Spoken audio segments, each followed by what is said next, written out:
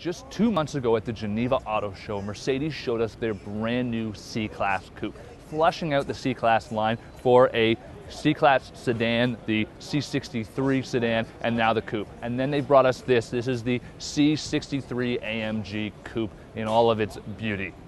Powered by a V8 engine, this car makes 451 horsepower and it'll do 0 to 60 in 4.4 seconds. But being an AMG, it's not all just about horsepower, it's about handling, braking, and overall driving dynamics. This vehicle gets a significantly wider stance, these great 18 inch wheels, upgraded brakes, uh, stiffer steering, and it really is a whole performance package.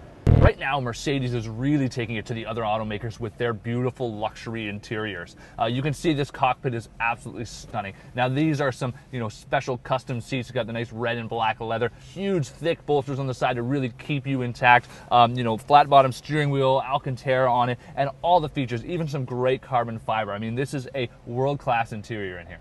Now, if you're gonna pay the big bucks to buy a Mercedes C63 AMG, you have to get the AMG Performance Pack. It actually ups horsepower by about 30 horsepower to 481 and shaves a tenth off that 0 to 60 time. So you're looking at 4.3 seconds to 60. Uh, you get some great nifty features like this great carbon fiber spoiler on the back here, red brakes as you see on the car, and just a lot of great features. The C63, a beautiful vehicle, and an AMG Performance Package is a must.